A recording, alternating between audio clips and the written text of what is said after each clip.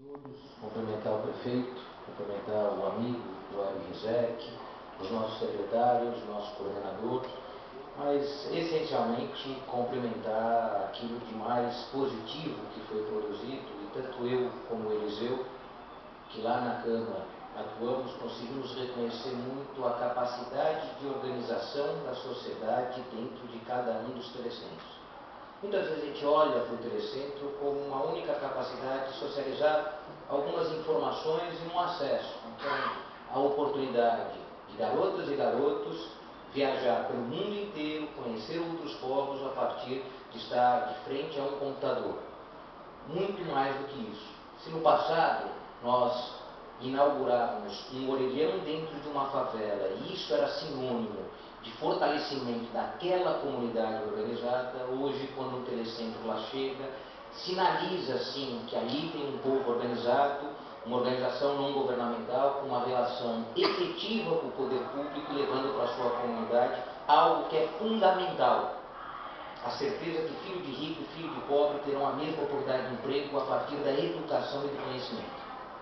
Não há programa mais importante para qualquer um no setor público oferecer oportunidade a partir da educação. E todos nós sabemos que para esse mundo moderno que vivemos, para esse mundo que cada vez mais exige talentos, a cidade de São Paulo pode revelar, sim, talentos que a coloque como a capital mundial do desenvolvimento tecnológico. Pode. E o que precisa para isso? E aí acho que é o grande orgulho desta família de telecentros. Precisa de uma família que tenha responsabilidade como primeiro elemento socializar gratuitamente tudo de conhecimento que se tem. Cada 8 horas da manhã, quando se ligam os mais de 10 mil computadores que estão na rede de telecentro, temos uma garantia. A garantia que estamos trazendo para mais próximo da oportunidade que todos os filhos de ricos já têm, aqueles que não tiveram essa oportunidade cada unidade entregue dentro de uma favela, dentro de uma comunidade mais pobre, é ali que a diferença é gerada. Portanto, a todos aqueles que atuaram, como nosso secretário Web, como nosso secretário Gilberto Natalini, como secretário Montoro, como a nossa pequena passagem por lá, nos deixam uma certeza. Cada telecentro que se abre é uma janela de desenvolvimento para a cidade. E, portanto, é ali que a gente pode fazer a diferença.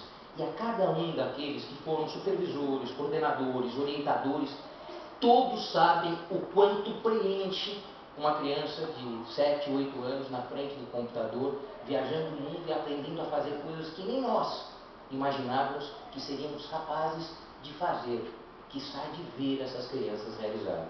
Então, se há algo poderoso e transformador, está na mão de vocês. Chegar a quase 500 é a garantia que nós teremos a cidade de São Paulo na ponta do desenvolvimento tecnológico digital.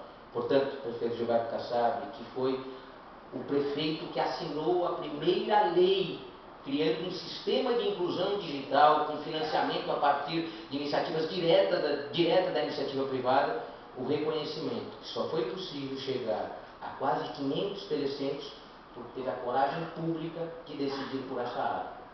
Estes são os elementos, não da propaganda, e sim da intervenção real, no campo real da vida das pessoas. Aqueles que se somam, muito sucesso. Aqueles que estão, muito obrigado por que já fizeram até hoje. Viva o Telecentro!